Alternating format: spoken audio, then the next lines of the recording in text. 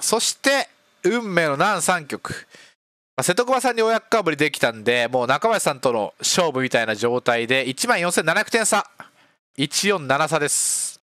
流してここさえ流せばここさえ流せばあれなんだよ。もうトップなんだよ。ここさえ流せばトップなわけ。ここはね怖いって声が多いんだけど僕的にはねぼーっとしてる方が怖かったんだよね。うん。さあじゃあということで言ってみましょう。でこの曲まず始まる前に知っておかなきゃいけないのは丸山さんが瀬戸熊さんと2万点ぐらいの差があるわけですよ。だから丸山さんはもう少なくともマンガンツモマンガンツモとかしなきゃ意味ないからそう打点作ってくるわけですね。だから必然的にスピード遅くなります。そして瀬戸熊さん瀬戸熊さんも上に遠いわけですよ。ということは当然瀬戸熊さんも打点作ってくる。ななだから2人がね安い手で泣いてくれたりしないわけですよ。でなんなら安手のリーチもあんま来ないから2人があんまり頼れないと、うん、普通の状況より2人は上がらないという状況なんで僕が行くしかねえなっていう基本的な情報、うん、でしかも僕が3300点以上差をつけた破熱も条件も消せるんでとりあえずこの曲は頑張ろうというとこから始まりました。そしてまあまあトンからいってね。まあ一応両面もねあるしなんかそんな悪い手じゃないんで78キロ3色のはあんまり意識してないけど一個頑張っていこうと思ってたらまあまあまあ。でここでねちょっとあれだったんだよね。まず一安心したのが丸山さんと瀬戸熊さん普通の捨て牌やってくれてるからあリーチ来る可能性はあるなと思ってましたね。なんかもうスーピンローピンみたいな感じでもう遠い染めやりますよみたいな捨て牌になることもよくあるからその場合だと本当にもっと頼れないけどまあ普通の捨て牌やってるんでああじゃあ全然リーチ来ることはあるからまあ自分がきつかった2人に頼ろうという状況で言ってるとローマ引いてお私やる気ですと。で、まあ、シャー切って、これ E1 がね、親の現物なんで別に E1 残しててもそんなに危険じゃないんで、シャー切って目いっぱいにして、さあさあさあと、EP ラン。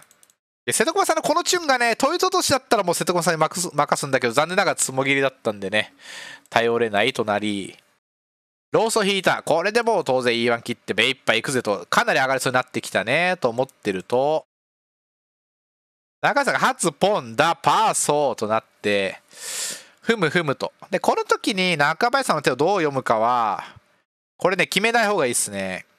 だって、中林さんって連チャンしたいわけだよ。だから高くても安くてもね、泣くわけだよ、この局面は基本的に。初のみでも泣くし、初ドラドラ赤とかでも泣くから、まあ、わかんない。決めない方がいい。だから、シンプルに自分の手が良ければ行くし、自分の手が悪ければやめるという状況ですね。高いか安いかは分からん。どっちでも泣くから。というのを踏まえた上で、こういくと、いいシャンテになりましたということで、うん。まあ、これで、まあ、いいシャンテンなんでパワー1ぐらいいきますよと。うん、まあまあ、戦う気でいくと。で、瀬戸熊さんはね、この仕掛け入るとね、なおさらやめるんだよね。なぜなら、普通に、ワンツーとか打つとさ、もう普通に4着見えるじゃん。だから、瀬戸熊さんはあんまりよっぽど手が整ってない限りいかなくなるから、なおさら自分で行かなきゃいけないという状況になって、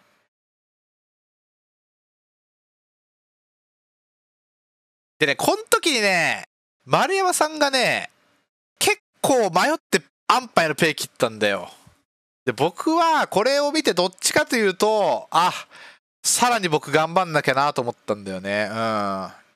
迷って安牌のペイ切るってことは、丸山さんなんかそんなに超元気に行くような手ではないなと思ったから、普通に今後降りられちゃうこともありそうだなと思って、うん、だからこれはもう僕がかなり頑張んなきゃなという感覚でいたら、これ、これよ、最後のこれで、ここが今回の最後の肝というか、どうするかなんですが、ま、選択肢は数ピン切り闇点、数ピン切りリーチ、9ピン切り。パーピンでもいいかな。パーピンか9ピン切って天牌外し。ま、外すならパーピンのがいいかな。9ピンが現物だからね。どうするかなんだけど、まあここでね、やっぱり事前のね、前提を踏まえて考えてみると、まず、瀬戸熊さんは多分あんまりやる気ない。丸山さんもいや、マネさん、ペイ切ったからやる気あるかもしれないけど、やめる可能性ある。そして、中林さんの打点は高くても安くても全部あり得る。で、僕が頑張んなきゃいけない。という状況で、じゃあ僕が頑張んなきゃいけない状態で頑張るとしたら何をするかといったら、こうだよねって頑張ら、頑張らなきゃいけないんだからと。うん。いうロジックが成り立つよね。うん。中林さんがドラポンとか、そう、中林さんが高打点確定だったらいかない。し、なんか、丸山さんとか瀬戸熊さんがめちゃくちゃ行く気だっても行かない。止めちゃうからね、僕がリーチして。うん。でも、この状況なら、行くかなと。3色行って代わりはね、Q1 引いたらドラドロー1切んなきゃいけない。ドラロー1ポーンされたらバカみたいじゃん。いや、Q1 チはしない。ロー1ポーンされ、されるわけにはいかないから、うん、それは泣かない。で、まあ、初ポンされてるのが、プラスか取るかマイナスか取るかとなんだけど、リーチっていうのは、基本的に低打点の可能性が低くて高打点の可能性が結構高いからハイリスクなんだけど相手のリーチはね。仕掛けは本当に1500とかもあるから中リスク？うん中リスクだから。7の馬強はねまあ丸山さんがあんま持ってなさそうで中林さんはまあちょっと持ってるかね。で瀬戸さん全く分かんないから別に馬強はもう全然普通普通普通中林さんドラ打った時はねまあこれで中打点高打点ではなくなったと思ったから、なんかリスクは減ったなと思ったけどね。まあ、テンパイだけど、まあリスクは減ったかなっていうことで、なんかウィンウィンみたいな ウィンウィンみたいな感じ。ええ。中目さんが降りることはほとんどないんだよね。もう中目さんのことはよくわかってるから、これ、この状況で降りることはほぼない。8戦打ってもだって2着でオーラスいけるわけだから、ほぼないね、ここで降りてくれることは。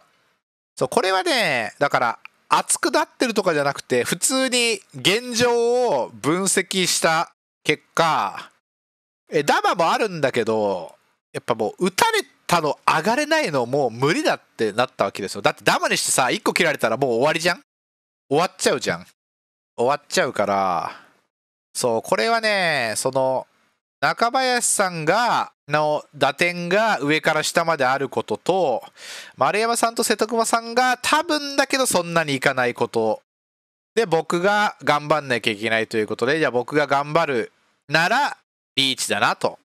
そう、焦ったリーチに見えることは見えると思うんだけど、まあ僕的にはまあ分析した結果、これかなり冷静にリーチしてたな。うん。かなり冷静にリーチしたね、本当に、これは。いや、天平外してもさ、嬉しいの3ピンとウピンだけなんだよ。2種しかないんだよ。しかも3ピンとウピン引いてやっと天敗だから、じゃあもうチーピンで上がれると。うん。チーピンで上がれるリーチの方が格が上だなと思ったんでね。まあ負けるかもしんないし、負け、負けるとしても1500で済むかもしれないわけだから、うん。チームメイトはなんかどっちもあるよねって感じだったね。うん。だからこの絵はめくり合い怖いんだけど、なんか、これは追う価値あるリスクだなと思ったんだよね。そう、これはだから、まあ、どっちもあるんだよ。例えば、堀さんとかはね、こういうリーチあんま打たないタイプでね、多分外すのかなどうなんだろう。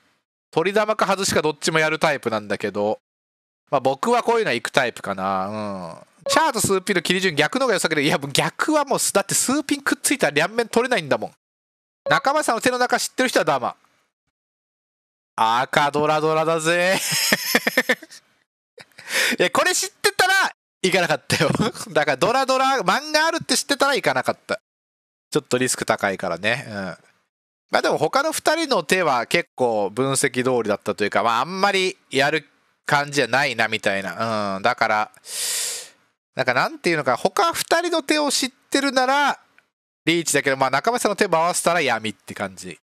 まあでもこれはね、なんかその、そう、すべての分析をした結果、僕はリーチ有利だとなった。これはかなりね、冷静に判断したね、普通に。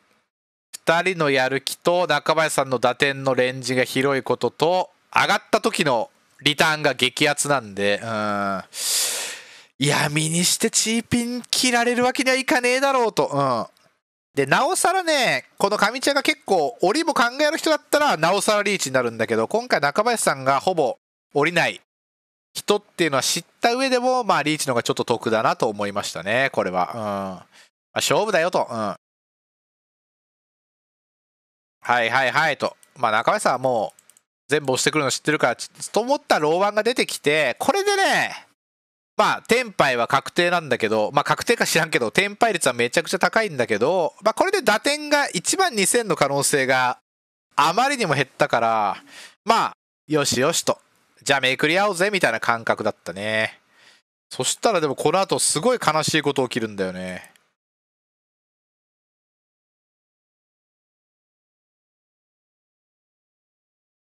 これ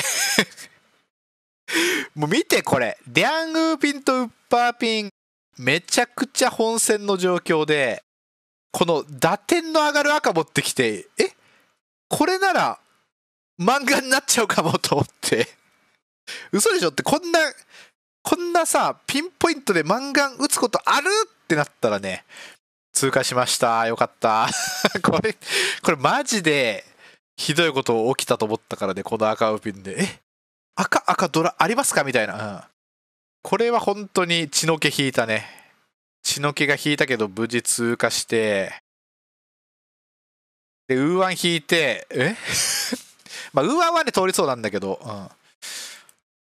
なんか赤ウピを引きずったのずっとね、引きずってたね。そして、ああ、まあ、流局か。まあ、G 曲頑張ろうね、頑張ろうね、頑張ろうね、G 曲。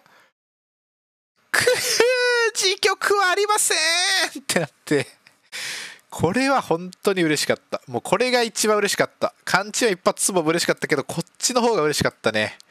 で、これによってさ、まあ、裏ドラ乗ったんだけど、まあ、裏ドラ乗らなくても、羽つも圏外に行けるわけよ。羽マンツも圏外ってもうさ、あまりにも幸せな状況だから、そしてこれで、まあ裏も乗って、裏も乗ったらもちろんなおいいから、